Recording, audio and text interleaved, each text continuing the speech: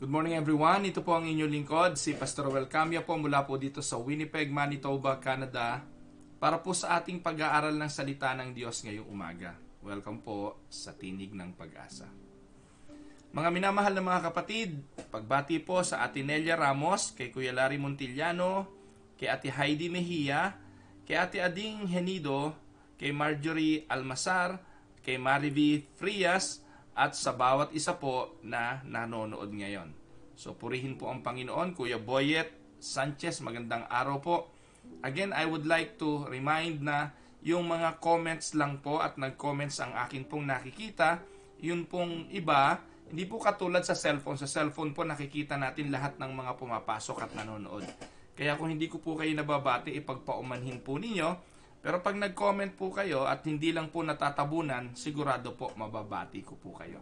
Magandang araw po sa inyo lahat mga kapatid at purihin ng Panginoon sa minsan pa'y pagkakataon na ibinigay sa atin para po makapag-aral ng salita ng Diyos. Sa umaga pong ito, kagaya po ng nakikita ninyo sa title, Principles for Handling a Crisis. Alam niyo po mga kapatid, hindi naman lingid sa bawat sa sa atin na ito po'y karanasan ng buhay na hindi naman natin naiiwasan. Everybody, no? And I mean everybody, lahat ng nilalang dito sa mundong ito will experience a crisis at a point in his life. At uh, sabi nga po mga kapatid ng talata ng Biblia, in the book of Psalms chapter 34 verse 17 hanggang 20, When the righteous cry for help, the Lord hears and delivers them out of all their troubles. The Lord is near to the brokenhearted and saves the crushed in spirit. Many are the afflictions of the righteous, but the Lord delivers him out of them all. He keeps all his bones, not one of them is broken. Mga kapatid, tingnan po ninyo ang talatang ito. Hindi po binabanggit sa banal na kasulatan hindi binabanggit sa Biblia na ang mga matuwid, na ang anak ng Diyos ay hindi na makaka-experience ng crisis. Kasama po tayo sa mundong ito, kung ano na nararanasan ng mga hindi matuwid, mararanasan din ng matuwid. The only difference is, ang sabi po ng talata, the Lord delivers him out of them. Because the Lord is near to the broken-hearted and He saves the crushed in spirit. Ang sabi po ng talata, ang linaw, many are the afflictions of the righteous. Kaya, kung matuwid ka, kabilang ka sa pamilya ng Diyos, nagtataka ka pa ba, kapatid, kung nakakaranas ka ng mga crisis ng buhay? These are all part of the life of each and everyone. Kaya wag po kayong magpapapaniwala do sa mga pastor na ang mga pagtuturo ay puro claim ng claim. I-claim mo ika na hindi ka magkasakit, you will not be uh, you, you will be okay. You will not be infected by coronavirus. I-claim mo lang. No? I-claim mo in Jesus name. Ano 'yon? No po, hindi po ganoon. Ang sabi po ng Bible, even the righteous may suffer affliction. Pinauuso po kasi ng mga Pentecostal, ng mga pastor na you have power to claim everything in Jesus' name. No, that's not true mga kapatid. We don't have power. It is only God who is powerful. The only consolation we have is, is the Lord is with us. And the Lord is near to the brokenhearted. Yun po yung dapat nating panampalatayanan. Lumahabis na po mga kapatid ang mga Pentecostal movement sa kanila pong mga paggamit ng maling mga paniniwala para linlangin ang mga mga lingkod ng Diyos. Ngayon po lahat Pentecostal na. Kasi po itong mga pastor natin nahawa na rin. Na po na para bang pag nilakasan mo ng konti ang pagsigaw mo sa panalangin, mas powerful kaysa dun sa tahimik at hindi nagsasalitang nananalangin. Pareho lang pong panalangin yon. Ang mga pagsigaw sa panalangin ay sa mga panahon ng matinding kapigatian pero may panahon na you are so crushed in your spirit na even shouting ay hindi mo magawa. Ngayon ang tanong, alin na mas makapangyarihang panalangin? Yung sumisigaw, yung nagke-claim, o yung tahimik lang na nagpapakumbaba sa harapan ng Diyos? Mga kapatid, again, ang masusunod ay ang Diyos. Po? Maraming mga pangyayari sa buhay na madalas ay nakakagulat. Nakagugulat dahil wala naman tayong kahandaan. Sino po bang bansa ang handa sa crisis na ito? Maliban na lang kung naniniwala kayo sa conspiracy theory na ang may gawa nito ay China, maaring handa sila. Pero mga kapatid, tayo po na walang kinalaman dito, tayo po na hindi natin alam kung kailan darating ang susunod na virus, hindi natin to napaghahandaan. At hindi lang po yun ang kamatayan ng mahal sa buhay. Minsan alam mong may sakit, bagamat inihahanda mo ang sarili mo sa panahon na talagang lilisan itong mahal mo sa buhay, pero nakakabigla pa rin yung balita na sabihin wala na yung mahal mo sa buhay. After a week, nang mailibing yung aming tatay, yung pong aming pinsan, pinsang buo, buong buo po namin kamag-anak si Ate Beying. Kasi sa kanyang nanay, kay Nanay Puste, ay pinsang buo namin siya dahil ang Nanay Puste at ang nanay ko magkapatid. Yung kanyang tatay ang kakang inong at ang tatay ko magpinsang buo. Kaya po buong buo ang aming pagiging magkamag-anak. At mahal po namin si Ate Beyeng kasi po, naging kasama po namin yan sa buhay nung siya po'y dalaga pa. Pero ayun po, kinuha na rin siya ng Panginoon. Ito po'y nakakagulat at para sa mga nagmamahal, masakit ang lisanin ng mahal sa buhay. Kamatayan ng mahal sa buhay, karamdaman, kawalan ng trabaho, sakuna, ng mga sakuna na bunga ng panahon tulad ng bagyo, baha, lindol, digmaan at marami pang iba mga pangyayaring wala tayong kontrol. Minsan dahil sa mga trahedya like this pandemic right now, nagbawas ng mga empleyado sa trabaho, nagsara ang kumpanya, nadamay ka. Paano na yung mga you are living from paycheck to paycheck? Na yung sweldo mo na inaasahan ay diretso pambayad sa bahay. Na ang pamba, pang sweldong inaasahan ay diretso pambayad sa kotse. Marami pong ganun eh. Tansyado na po nila yon Kaya nga po, hindi na makabili kahit na isang bagong brief man lang o kung ano man dahil saktong-sakto. And to tell you honestly, maraming ganong mga tao na matatapang na iniaasa sa kumpanya ang lahat ng bagay, iniaasa sa trabaho ang lahat ng bagay, hindi alam na lahat naman ng bagay dito sa mundong ito ay walang kasiguruhan. Kaya po pag tama ng isang crisis, anong gagawin? Bankrupt, benta ang bahay, hindi malaman kung saan susuling, gagamit ng credit card na lalong magbabaon dahil ang tubo ay napakalaki. Hindi ko alam kung nandito po kayo sa kalagayan ito ng crisis, pero I would like to tell you this. May mga bagay na pwedeng gawin. Hindi po kawalan ng pag-asa, hindi po taling lubid sa leeg ang sagot sa mga problema ng buhay. Meron pong pag-asa at ang pag-asang ito ay nasa kamay ng Diyos. Sa umaga pong ito bilang pastor, gusto ko pong ikwento sa inyo, mahigit tatlong dekada na po ako na pastor. Napakarami ko na pong suliranin na narinig mula sa mga tao, mula sa mga kaibigan, mula po sa mga members. Araw-araw po, yung mga naglilista po ng prayer request sa tinig ng pag-asa, sa maniwala po kayo o hindi, nakatala po yan sa amin pong talaang mag-asawa. At ito po ay, sa, hindi ko ma-focus, at ito po'y ipinapalangin namin.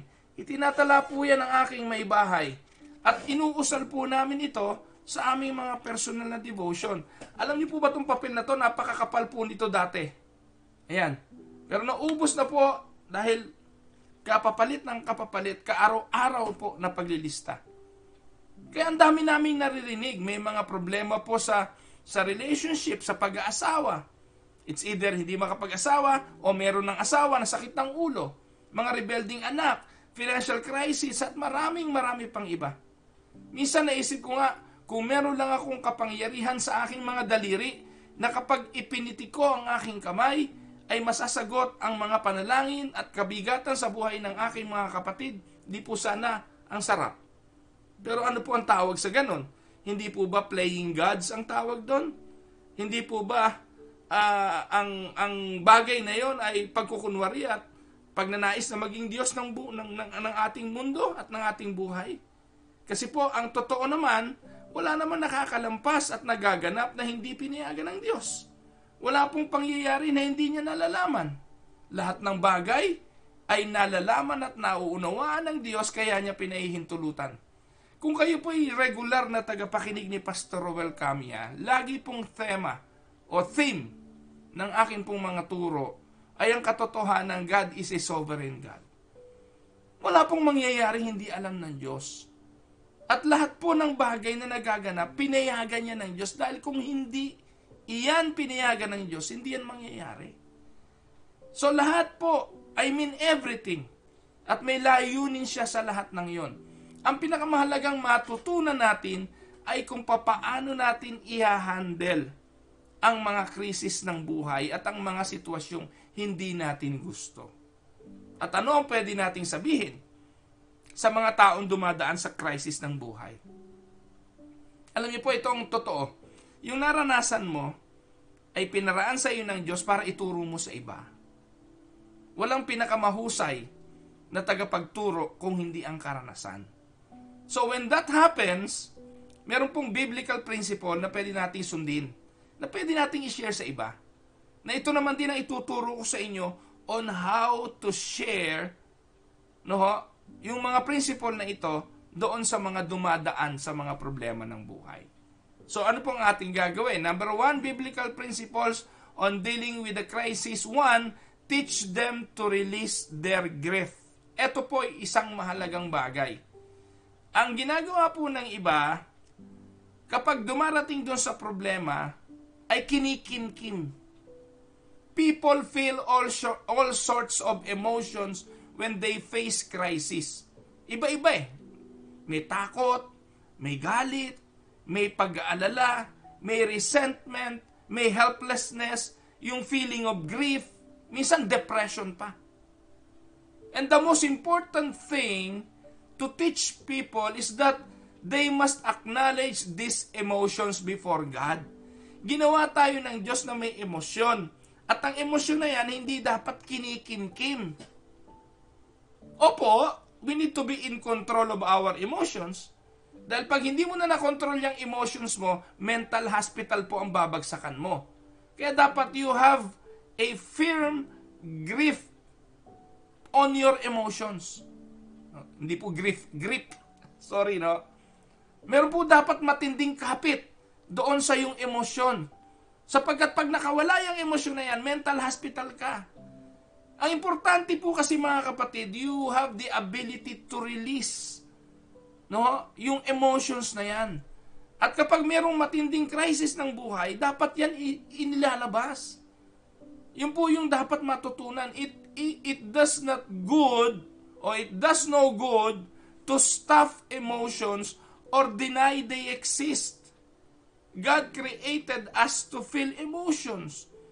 And He doesn't expect us to act happy when we are grieving. Dahil pagsisinungaling yon, pagkukunwari yon, yung palalabasin natin na tayo masaya pero deep inside we are hurting.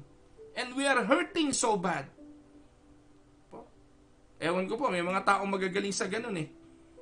Parang mga artista sa pinilakang tabing na sa kabila nung namatay ng magulang, kailangan magpatawa dahil komedyante siya. Pero mga kapatid, we are in a real world. We are not member of those who belong to the movie industries.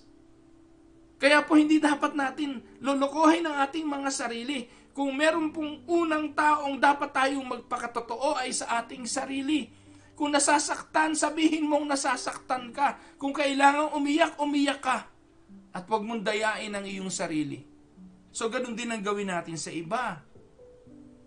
Alam niyo po, may nagtanong, yung daw mga born again, eh, hindi daw po umiiyak sa namatayan sa pag namatayan. Kasi po, ang turo daw ni pastor, ay, nasa langit na yan, hindi na dapat iyakan. Yung pastor na to, subukan mo lang na ikaw ang namatayan ng mahal mo sa buhay. Tingnan ko kung ano gagawin mo. Kung maglulundag ka man sa tuwa, ibig sabihin, niloloko mo sarili mong pastor ka. Sino pong hindi masasaktan kung mahal na mahal mo yung, yung namatay? Kaya hindi totoo.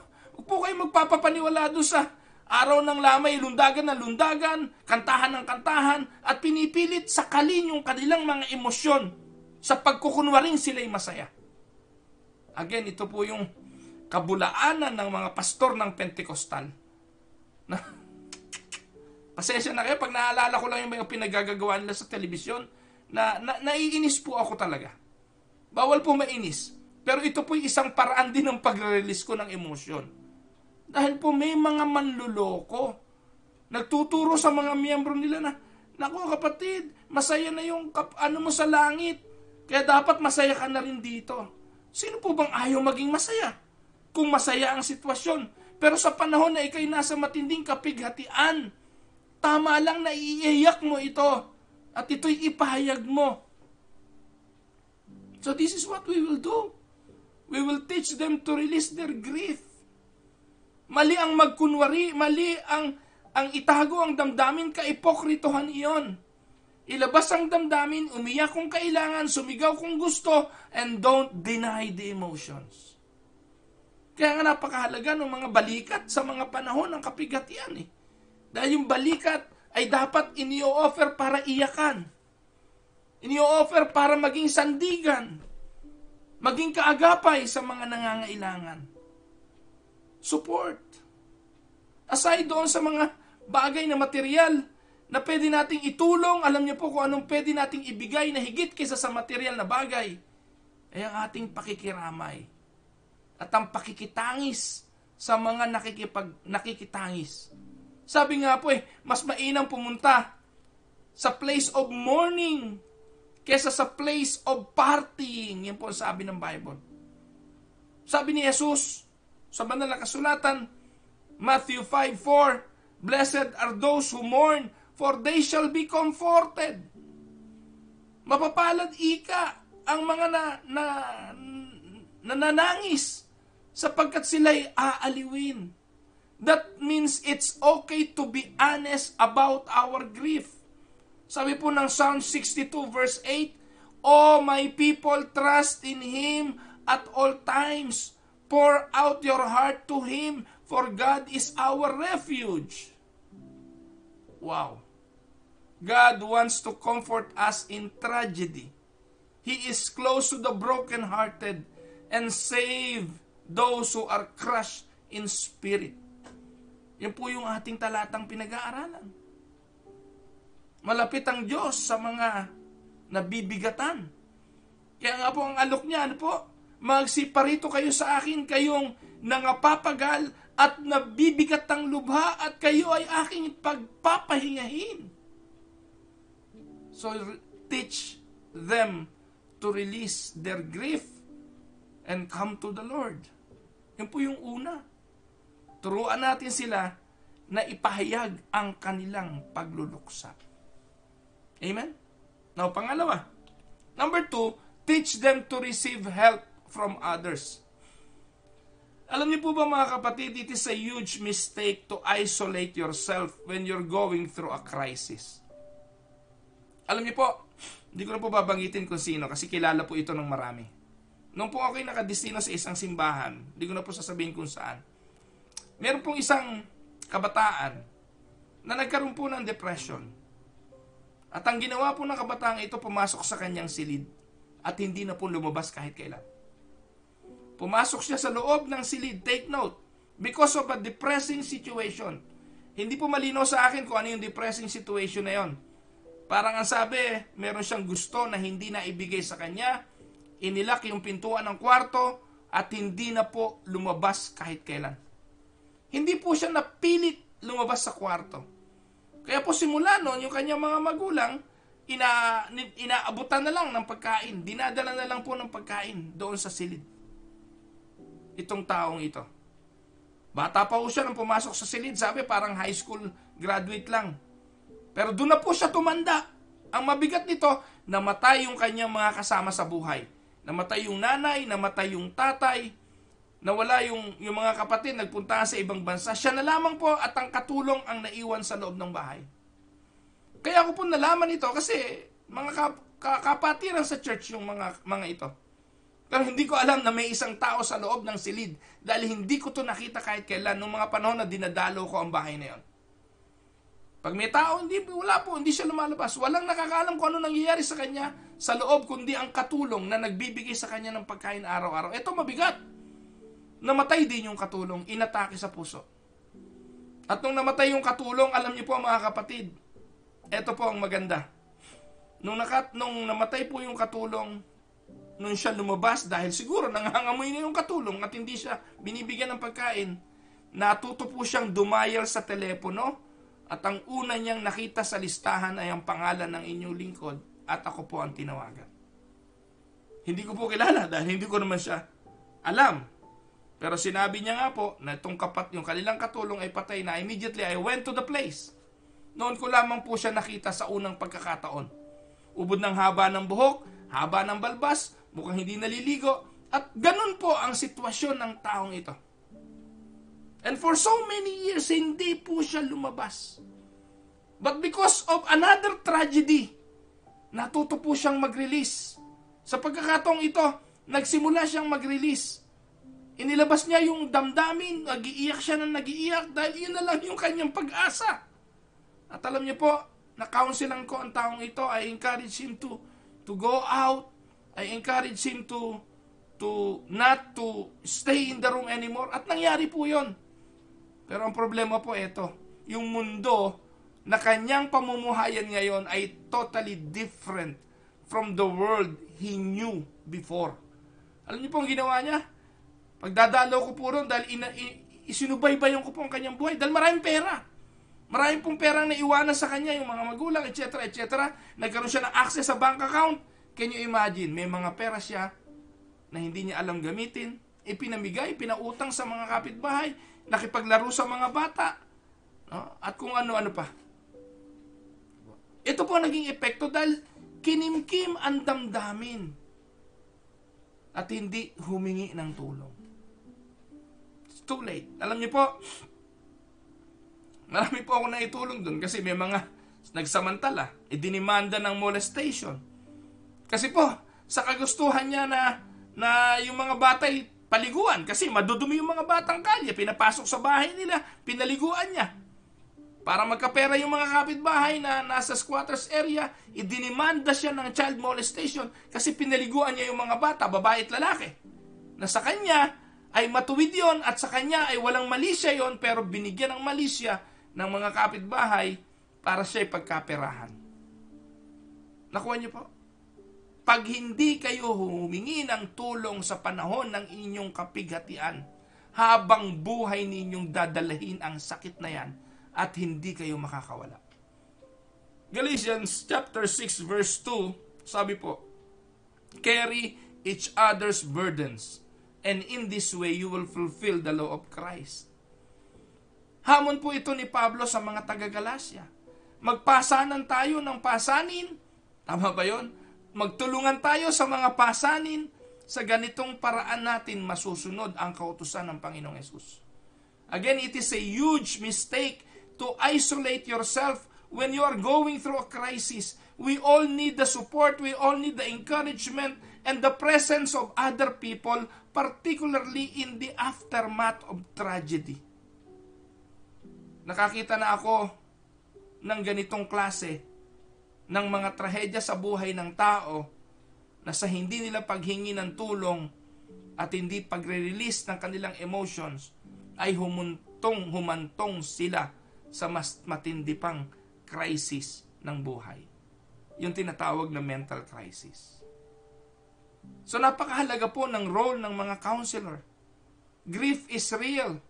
Kaya mahalaga ang proper counseling and support. Kaya tayo mga magulang, no po, bantay-bantay din sa mga emotions ng ating mga anak. Hindi po natin nalalaman yung kanilang mga unang broken-hearted experience Mahalaga yan. Ngayon, napaka-emotional ng mga bata. Lahat na lang, kung ano-anong mga emotions ang pinaiiral. And without, without us being knowledgeable of this, eh baka magulat na lang tayo, nakabi, nakabitin yung ating mga anak. Dahil hindi nila alam i-handle ang kanilang mga emotions. So we need to give them, offer them help, and ask them to seek for help. Pangatlo, teach them that they can choose not to be bitter. Alam niyo po, being bitter is a decision. We all have the power to decide how tragedy affects us. If we choose bitterness, then we'll only end up hurting ourselves more. And we'll also shut the door on our happiness because we cannot be happy and bitter at the same time. Tandaan po ninyo, hindi pwede yon. You cannot be happy and bitter at the same time. one of the things I've learned from my more than three decades of being a pastor is that there's absolutely no correlation in life between your expect be- be- between your experiences and your happiness. Nakakita na po ako, I've seen people go through shocking experiences who are able to maintain happy, positive attitude and disposition simply because they choose to do so and they choose to be happy. Tandaan mo mga kapatid, tandaan niyo pa, pakinggan niyo to. You are as happy as you choose to be. Kung pipiliin mong maging masaya, kaya mong maging masaya. Pero kung pipiliin mong maging bitter, kaya mong maging bitter for the rest of your life. One skill, listen, one skill that will help people to make the choice to be happy is learning to focus on what is left and not what's lost. Hindi ko po ilagay sa PowerPoint. Akala ko na ilagay ko eh. Ano po, pakinggan niyo po ito.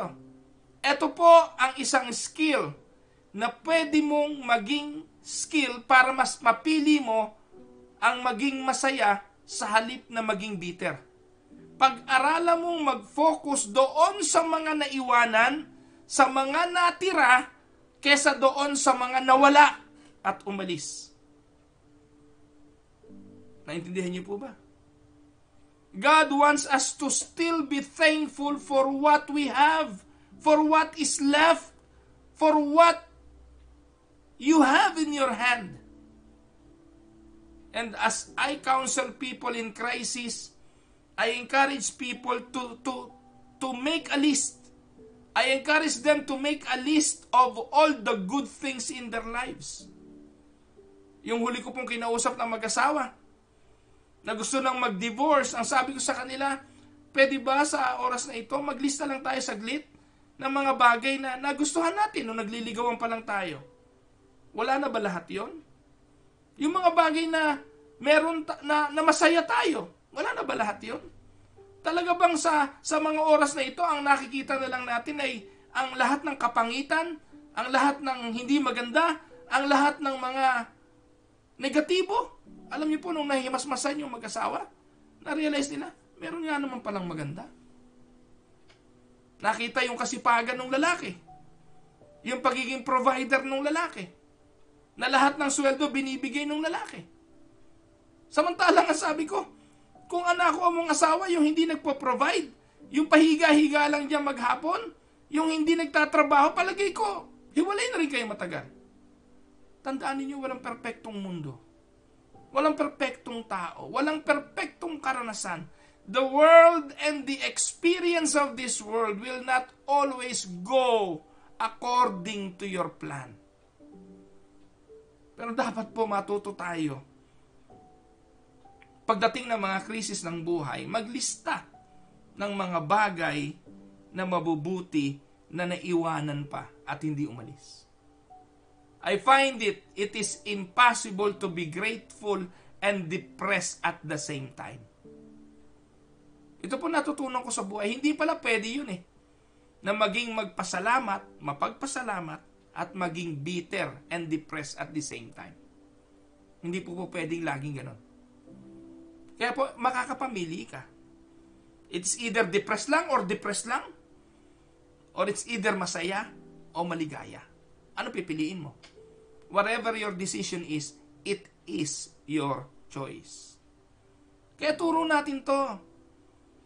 Hoy, hindi mo pwedeng lokohin ang sarili mo. Hindi ka pwedeng kunwari masaya pero deep inside nag-iiyak. Mamili ka. Mag-iiyak ka na lang habang buhay o pipiliin mo na maging masaya. Challenge them. Pero I would like to tell you this. Kung ikaw man ay dumadaan sa ganitong sitwasyon, choice mo yan eh. Kung bitter ka dahil iniwanan ka ng asawa mo, choice mo yan. Magpaka-bitter ka habang buhay. Sinong kawawa? Pero piliin mong maging masaya dahil lugi ka kung habang buhay kang magmumukhang kawawa. Kung may umalis, tandaan mo, may naiwanan. At yung mga naiwanan, ang pahalagahan mo. Meron po mga asawa, na iniwanan ng kanyang asawa, na gusto na rin iwanan yung kanyang mga anak. No. Tandaan po ninyo, maraming bagay pa rin ang dahilan para ikaw ay maging masaya. And hindi dapat maging bitter. Number four, pang-apat. Oh, by, by the way, basahin po muna natin itong talata. Ephesians 4.31. Ano po sabi diyan? Let all bitterness and wrath and anger and clamor and slander be put away from you, along with all malice. Be kind to one another, tender-hearted, forgiving each other just as God in Christ also has forgiven you. Hindi to madali. Mahirap ito. Yung nagbigay sa atin ng sakit, napakahirap nating patawarin. Yung nagbigay sa atin ng sama ng loob, nang humiya sa atin, naglagay sa atin sa kahihiyan, ang hirap nating patawarin. Pero alam nyo, the only medicine for the bitterness and hurt is to forgive. That's the only medicine. The only cure, rather. Or else, magpapaulit-ulit lang yung sakit. Maaring hindi na on the same person, pero maaring sa iba na. Pero hanggat hindi ka nagpapatawad, hindi ka po magtatagumpay sa sakit ng damdamin. So ayun po ang sabi ng ni Paul sa Ephesians, po, be kind to one another, tender-hearted, forgiving each other, just as God in Christ also has forgiven you. Next, pang-apat, teach them to see what in their lives is real and of real value. Turuan sila na makita na kung ano ang meron sa buhay nila at kung ano ang tunay na mahalaga. Alam niyo po, a crisis help us clarify our values. And crisis is showing us what really matters and what really doesn't matter. Sinabi po ng ating Panginoong Yesus, life is not measured by how much one owns. Yung krisis ng buhay nagtuturo sa atin kung anong importante. Tama po ba? At sa mga krisis na ito ay pinapakita kung ano talaga yung pinakamahalaga. What Apostle Paul is saying, saying is this, Do not confuse your net worth with your self-worth. Do not confuse your possessions with your purpose in life. A man's life does not consist of what he possess. Hindi palibasa mayaman ka, fulfilled ka. Hindi palabasa meron kang uh, pinag-aralan, fulfilled ka. Yung worth mo ay hindi nakabase sa yung worth, sa yung ano, sa, sa tawag doon, yung self-worth mo, ulitin ko, mali. Yung iyong net worth ay hindi basihan ng iyong self-worth. Tama na. Hindi palibasa. May pinag-aralan ka, hindi palibasa, may kayamanan ka, ay mahalaga ka. Ganito po sa mundong ito eh. Sa mundong ito, kung sino may pera, siya ang nagsasalita at siya may boses. Pero mga kapatid, hindi laging ganon. Kaya nga po, ang sabi ng Biblia, misa pinaparanas tayo ng krisis para pagpantay-pantayin. Katulad po ng pandemic na ito. Ano silbi ng pera mo ngayon, di mo maipamili, di ka makalabas. Ano silbi ng iyong kayamanan? Kung ikay tatamaan ng coronavirus at ikay mamamatay because of this. Saan lahat mauuwi yon? Tandaan po ninyo, a tragedy teaches you that the greatest things in the world aren't things. What matter is the relationship. Maganda po ito eh, pantuit. A tragedy teaches you that the greatest thing in the world aren't things. What matters are relationships. Pag may krisis, tandaan po ninyo mga kapatid, kapag gumuguho na ang mundo, ano po unang dadamputin mo? Una po ba dadamputin jewelry box? Una mo ba ba dadamputin ay ang television set? Ang una mong itatakbo ay ang buhay at yung pinakamahal mong taong kasama sa buhay. Marirealize mo na ang pinakamahalagang bagay sa mundong ito ay hindi bagay kung hindi ang relasyon. The, the Apostle Paul is saying all those things that I thought were valuable just aren't. What matters most is the health and safety of your family. Kaya, in times of crisis, teach them to see what in their lives is of real value. Amen? And the last, panlima, teach them that this is the time to rely on Christ. During time of crisis, paalalahanan natin ang mga kaibigan natin o ang mga tao na ito ang panahon ng pagtitiwala sa Panginoon. Kaya po hindi niyo po ba napapansin, yung mga mensahe ng inyong lingkod pagdadating ng linggo, I always focus on the reality na we are in a pandemic and the only one who can help us in this pandemic is no other than but the Lord. So it is it is time to encourage believers. I'm talking about believers.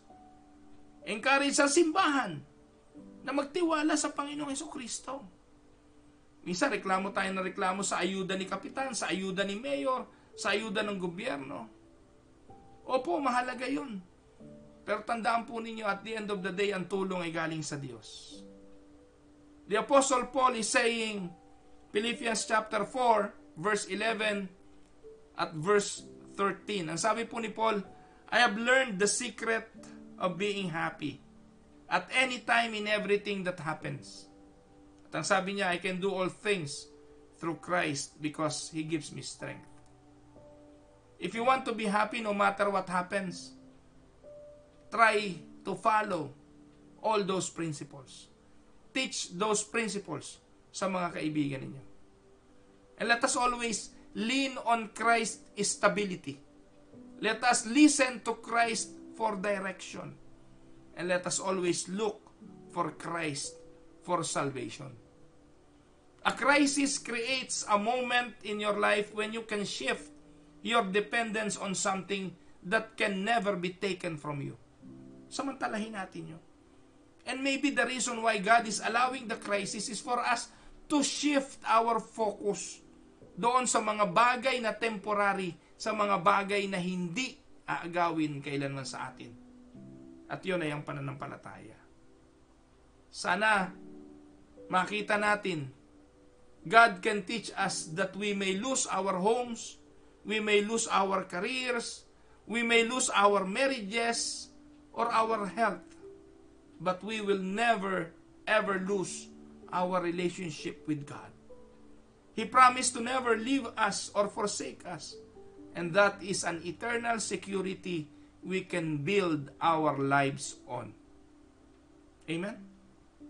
Sabi po ng 2 Corinthians 9, or rather, 2 Corinthians chapter 1 verse 9 hanggang 10. Dito ko na po tatapusin ang mensaheng ito. Sabi po ni Pablo, 2 Corinthians 1, 9 to 10. We were really crushed and overwhelmed and feared we would never live through it. We saw how powerless we were to help ourselves, but that was good For then we put everything into the hands of God who alone could save us. And He did help us and save us. And we expect Him to do it again and again. Napakaganda pong paalala ni Pablo ang bagay na ito. Purihin po ang Diyos mga kapatid. Pagpalain po tayong lahat. At sa umaga pong ito, samahan po ninyo akong dumulog sa Panginoon sa diwa ng isang panalangin. Samahan po natin ang ating mga kapatid sa mga karanasan nila sa buhay at uh, sabi po ni Pastor MJ, pati ang ating Panginoong Heso Kristo ay umiyak at tumangis sa pagpanaw ng kanyang matalik na kaibigan. Tama naman po iyon. Purihin po ang Diyos. So magbabasa lang po ako ng ilang mga comment para po makita kung meron pong mga prayer request kayong isinulat. Wala naman po akong nakitang prayer request. So, ang aking pong gagawin ay babasahin ang ilang prayer request na nakalista na po sa aking talaan. Patuloy pong panalangin para po sa kapatid na Evelyn Cruz at patuloy na panalangin po para sa uh, kapatid na Ding na ito pong mag-asawa ay pareho pong nagkaroon ng COVID virus. Pati na po yung kanilang mga anak, sana po ay wag nang mahawa. Panalangin para kay Ate Ruby at kay Kuya Dante bilang protection and good health sa kanilang sambahayan at patuloy pong ma-involve ang buong family sa ministry. Patuloy pong paghahanap ng donor para kay kapatid na Epoy. Ito po ang panalangin ng kanyang tiyahin na si Ate Heidi Mejia. Pag-iingat at kagalingan para po kay kapatid na OG Ramos, kay kapatid na Egay Quadra, kay Kuya M.A. Paredes, kay Ate Tessie Paredes Chu, kay Tita Mayra Paredes, kay Ate Mildred, kay Carl Rabanillo Ruin, kay Lolo Abe Nidang, ang pamangkin po ni Kuya Bert Castillo, ang pagdadalang tao ni Jonah Adaw, ni Bless Yan, si Jules Masalunga, patuloy na kagalingan, ang kakang Lole Atanasio, ang tatay David Marasigan, ang nanay Poste Paredes, ang nanay Anchang at ang tatay Bitoy, si Ate Gaying at si Kuya uh, Ikoy uh, Ramos, si nanay Tateng, si Nanay Elong Santarin, si Nanay Engay, ang Nanay Elisa Capillar, ang Kuya Bobby Marasigan, ang Tatay Eleno at Nanay Pasing Silya. Magandang araw po sa inyo at sama po natin sila sa prayer. Si Ai Advincula uh, para sa kanyang check-up at mammogram. Si Kuya Nestor Sinfuente, si Ate Tita Castillo. Sana po okay na po ang kanyang mammogram at maganda naman po sana ang resulta ng kanyang biopsy Kagalingan po sa nanay ni Ate Weni at ang patuloy na kalusugan para kay Ate Ruby Pakinggan. Sama po natin ang mga kapatid na ito sa atin pong pagdulog sa Panginoon at kung meron po kayo ng mga panalangin pa ay pagtulong-tulungan po nating ilapit sa Panginoon at uh, ganun din po kay Jesser Ikalya patuloy po nating ilapit siya sa Panginoon uh, nawa ay kalakasan at uh, samahan siya ng Panginoon. Nag-iisa po siya sa abroad. Uh, patuloy pong panalangin para kay kapatid na uh, pinsan po ni Ate Telly Hernandez na si Jessie. Jessie uh, Pagtakhan at uh, sa pagkamatay po ng kanyang asawa dito po sa Winnipeg daw sana po ay uh, ang kapayapaan ng maranasan ng buong sambahayan. So tayo po ay dumulog sa Panginoon at sama po, sama-sama po nating ilapit ang mga karaingan natin. Ang maraming Diyos ang makapangyarihan sa lahat.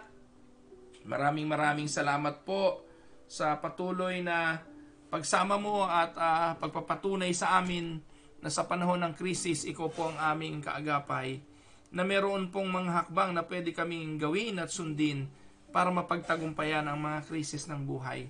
Salamat po sa paalala ng iyong mga salita. Rinig mo, Panginoon, ang mga kahilingan namin, alam mo ang mga bagay na naisin ng aming mga puso, dinudulog po namin lahat ito sa iyo, Panginoon. Wala po kaming malalapitan kundi ikaw. Ikaw na pinagmumulan ng lahat tungkol sa aming buhay. Lumalapit po kami sa iyo, Panginoon, at alam po namin na hindi mo kami pinababayaan. Dinadalangin ko po sa iyo ang lahat ng may karamdaman, ang anak po ni Ate Myra Paredes Libertino, si Peter, ikaw po ang siyang umipo rin sa kanya sa kanyang nararanasan at karamdaman. Ang akin pong may bahay, nilalapit ko rin po sa iyo ang patuloy niyang kalakasan, ang paglusog ng kanyang pangangatawan. Dinadalangin namin ang mga sambahayan namin, Panginoon. Dinadalangin namin ang mga pinanggagalingan ng aming kabuhayan, ang mga trabahong meron kami, ang kalusugan ng bawat isa sa amin, ang lahat tungkol sa aming buhay. Kapayapaan ang hinihiling namin sa pamilya ni Ate Beying, na nawa po ay maranasan. Kanina po alam namin na inihatid na siya sa huling hantungan. Payapain mo po si Erwin, si EJ at si Kong. Dalangin ko po ang mga anak niya at ang kanyang mga apo. Ganon din po ang kanyang asawa, si Kuya Insoy Pared, uh, sa Ludaga. Pagpalain mo po ang buong pamilya, lalo na po ang kanyang ang ina ni Ate Beying na si Nanay Poste.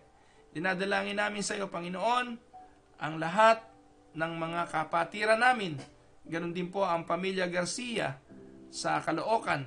Si Daisy, si uh, ang kanyang buong pamilya at ang kanyang mga anak.